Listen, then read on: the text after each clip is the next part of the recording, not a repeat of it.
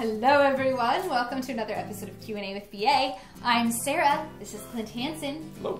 We're here to answer your questions. Yay! Super excited to do it. Yes, we are. Clint, Sarah. you're looking a little hip hop today. Hip hop. Yeah, you look pretty cool. I'll let that happen if it's gonna happen. I may have listened to Ice Cube this morning. 'Cause if I'm li- listening to hip hop, it's gonna be some Ice Cube. Anyway, he doesn't do that. I bet he does. I'm wearing a Disney shirt in case nobody recognized it because we're based out of Orlando, Florida. Did you know that? In case you didn't, now you know. Yeah. Yes, we are. Yes, we are. And uh, parks are a huge part of our culture here in Central Florida. A huge part of our culture. Yep. Do you go to Disney? I do, from time to time. Yeah. Have children. So yeah, not as much as I'd like to. I actually didn't get to go a lot as a child either. Didn't have much of a childhood like that, but I went a couple times. Yeah. I always remember like Space Mountain, Yeah. or just the feeling of when you go. That's that's key when you live in Florida, not to go to these places too much, because then they lose their magic. What's your favorite ride at Disney? Favorite ride at Disney ever? You one ride. You can only go on one ride. You can go right now. What's it gonna be? I don't even know if it's still there anymore, but I used to love Space Mountain. That was my favorite It's still ride. there. It's Is still it? there. Yeah, yeah, It's yeah. got to be it. And then like the big, like what do you get, like a turkey leg or something when you're there too? Like that's must-have food. Oh, oh, okay. So yeah, Yeah. you get one snack and one ride. What's yeah, your two? Space Mountain and some giant dead animal egg. Uh, ride, if I had to choose one, rock and roller coaster. Mmm. Love it. I love it. Yes. hmm I do love Everest, but I think I'd have to go with rock and roller coaster. Okay. Uh, park, Magic Kingdom. It's just, it's, magical. Magical place. And I've been on a lot of dates there with my husband, and it's just, you know, can't beat it. Um, and then what was my third? Oh, snack. Yeah. It's between the Dole Whip or the Mickey Mouse bar. Yeah, I was just thinking that. Mmm. I think I'm gonna go with Mickey Mouse bar. Speaking of vacations, Yeah. are you going anywhere on a trip sometime soon? Like next week? You know what? We are. Where are we going? So next week, That's deceiving because you're not going. I'm not going. Yeah, next week in Indianapolis, Indiana, they have uh, the NRA annual meeting 2019. So, booth 4,801. If you want to come check us out, as you can see, we're having some fun building some stuff for the uh, booth curb appeal. Bring people in, Booth curb appeal. show all our stuff, show all our barrels, Oh, talk to the people. It's a great show. What might help with your booth curb appeal, since I'm not going to be there, is to do a cardboard cutout of me, Okay. and that'll draw the people in. Yeah. Can I can be like, can you make that? Since we're leaving next week, I don't know if you have time. you know, one of those. Oh, we'll make time. We'll make time. We'll rush deliver it, even if it's like five hundred dollars or something, right, Jason? That's worth blowing our marketing Let's budget for, for sure. Yeah, I'm a little sad. I can't be there. I can't come. I'm sorry. I know. I know. Some people. They're carrying right now. If you're really upset and you start to cry, like definitely come to the booth and show Jason and, and Mm-hmm. Clint that you're crying and you're upset, and tell them that you're crying and you're upset, because I want to hear about it. But yeah. They're gonna walk in and be like, "Dang it, Sarah's not here." And I just threw my Andrew hat. Oh They're no. in Florida too. Yeah, yeah. Local business. Check them out. They make a lot of cool stuff. Definitely. Clint, are you ready for questions? Yes, I am. Super. Let's go. All right. It's time. It's time for a question from our friend Christian Grust. This is a cool name you have, Christian. Yeah. Okay. Christian says, "Great video as always." Oh, thank you. Uh, thanks for answering our questions.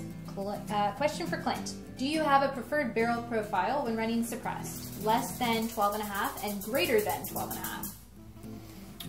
Yeah, I think I do.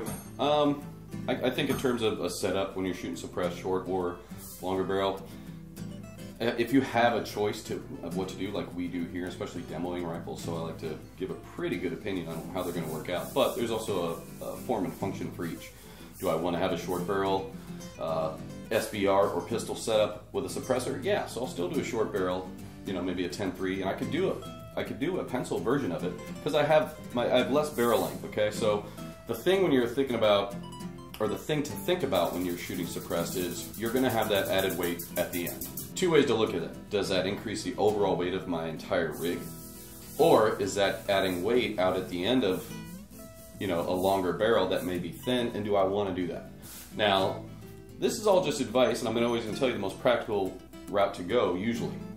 But you can do any of them. I do. I do 11.3 pencil barrel suppressed all time. I've done 16 inch pencil barrel suppressed. It definitely happens. However, if I'm going to run it hard, if it's going to be the truck gun or if it's going to be, you know, that, that, that battle rifle and I'm going short, say 12.5 or 11.3 or even 10.5, naturally, just like with the longer barrel, I'm going to choose possibly first a, a 750 profile, something a little beefier, not quite pencil. That being said, you can absolutely achieve a lighter package and do a pencil barrel on a short one or a long one. I think on the longer barrel though, like I said, in terms of running it hard, getting that heat set up, you have a, a thinner profile, a longer barrel, and then weight out even further out of your of your rifle. Okay, so as it gets hot, that could change your accuracy a touch. Keep those things in mind, and that's how you can look at it. You know, you're not, especially with our lineup, you're not going to have a bad choice with any of them. So that's kind of the rule of thumb. I know I went all over the place there, but I just don't want you to think I'm guiding you down one main path. But you got to keep all those things in mind. So. Okay. Awesome. Our second question is from our friend Rich Ray. Already? So cool. That's the coolest name ever. Okay. What about using a flash can or blast diffuser slash linear comp on pistols? Do you still recommend a flash hider? Okay. Again, similar to the first one, I think I'd say certain things in terms of my answer for stuff is lighting you, leading you down the practical path. Okay, so hmm. yeah, I still am going to say a flash hider if you're trying to hide the flash in terms of if it were me. However, sometimes you, you want to use a muzzle brake on something shorter like that, okay? And there are linear comps. There are VG6 muzzle, muzzle devices that you can buy from Ballistic Advantage. The VG6 cage is another similar type of uh, adaptation to the muzzle device that's going to do something along the same lines of everything you listed. So there's no rules. Depending on what how you want that thing to function, if you're okay with the, the higher pitch, or if you want to tame that down a little bit with the cage in terms of uh, controlling the, the two baffles, that it's pretty uh, it's pretty high pitch in terms of muzzle brake, but it's just comfort for the shooter. That's just me personally. I've shot enough of them to where when I'm shooting something shorter than 11, 11.3, get down to 10.3, it's awfully close. I typically don't use a muzzle brake and I'll use a flash hider of some sort.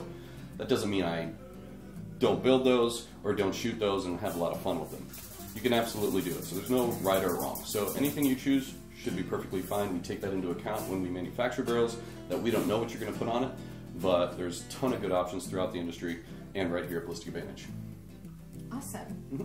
Such a good job, Mr. Hanson. Thanks so much, Sarah. Thank you so much to our friends for your wonderful questions. We really appreciated them. Thank you so much, Jeffrey. Thank you so much, Jason Demo. Good job as always. Guys, if you like this video, make sure to give us a big thumbs up. Make sure to subscribe to our channel and click that little bell icon so that you get notified every time we post a new video. We post new videos every Thursday. What, what? Yeah, it's true. And if you want to see this guy or Jason Demo answer one of your questions, make sure to comment below.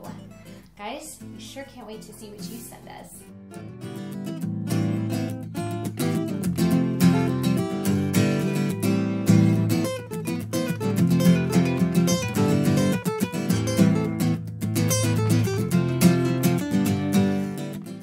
Second question is from our friend. Sorry. Trying to hold it in as back That was a good one. Clint. Quint. I almost, call, I almost called you question. Question. That, that could be like his uh, Harry Potter name. Quint. Quint.